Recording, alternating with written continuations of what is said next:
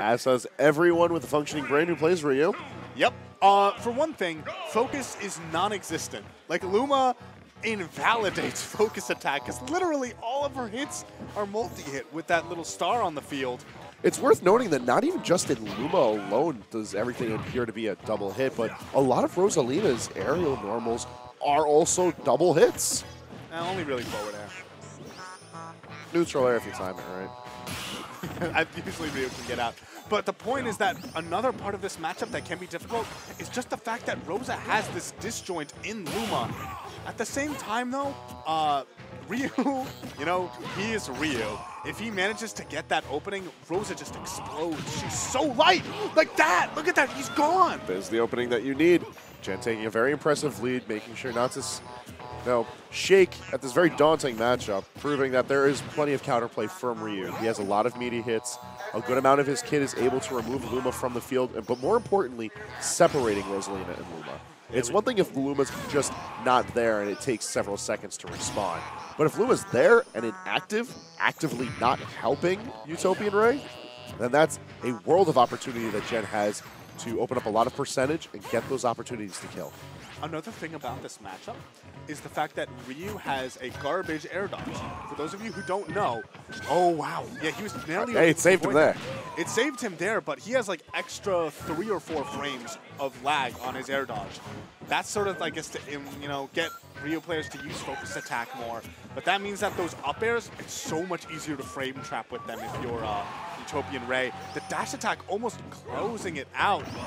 The up air still not doing it. Gen staying alive, and him staying alive right now is actually really good for him. With this much rage, he literally only needs two hits, and then all of a sudden, Utopian's out. Okay. Yeah, no, he's not living that long though. Back air coming in to end that stock. Gen waiting a little bit just to see how he can approach the situation. And with 35% onto Utopian Ray already, it's still stacked against him, but certainly doable. Yeah, okay, the back air finally finding its mark. At the same time, Gen is trying to play aerial base, but he's just not able to compete with Rosa. Without a jump, he's not even going to be able to make it back despite that huge early lead. Wah. Yeah, Utopian Ray didn't care. He's like, okay, yeah, you killed me at 50 for stock, but yeah, I'm just gonna, I'm, I, I don't care if I don't kill you until 180 because I just am able to do it. Utopian Ray, he's one of those guys where he does not lose focus. He's so, he's just so in tune to the game, so aware of neutral that he is going to you know, just accept it, you know? Because he knows what his win condition is going to be, just outplaying his opponent. Speaking of acceptance, it seems that Gen is just rolling with the uh, the Ryu for this. No counter picks, no different characters, staying true to his main. We're going to Battlefield for game two.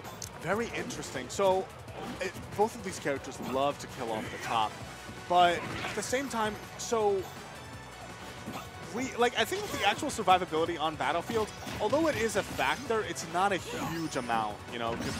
Uh, but the thing is that the point at which it becomes a threat. So basically, uh, Soryu isn't going to become threatening for Utopian Ray until about like 5% later, which, like, when you are a Ryu player, you want to scare your opponent. Like, especially players like Gen just feed off of that fear. Oh, but he is not even able to find a single opening right now. Utopian Ray just taking him for a ride, not able to get down to the ground, not able to get back to stage. Really just struggling to get anything started here. No percentage, no stage control, no hope right now. Gen trying to get something. He's going to manage a throw, but these sparse hits aren't really going to do anything for him if he's not able to maintain any sense of stage control or pressure onto Utopian Ray. Luma's still alive and healthy. The stage completely owned by Ray. And it's looking devastating in this game, too. A forward smash is going to be cleaning up that stock. And had a lot more of a loss for play as opposed to game one. I think Yeah. the pick into a stage with a lot more surface area for Ray to control that Rosalina has no trouble with controlling was a bit of a bad move. Yeah, I feel like I feel like Gen went here to maybe give himself some extra landing options, but those landing options aren't even existent because Utopian Ray can just chase him all the way up to the top. Really smart there, using the forward throw to knock Luma. Oh, sorry, the up throw to knock Luma away. 58% on Utopian Ray. If you're Gen, you need to think about getting a little bit more damage so that at the very least sure, you can be a threat. At the same time, though, up tilting Rosa is really hard, purely because of Luma. Just because, you know, normally, like, you know, Ryu will up tilt, up tilt, up tilt, you have to, just, you know, you have to be scared of it, you have to respect it.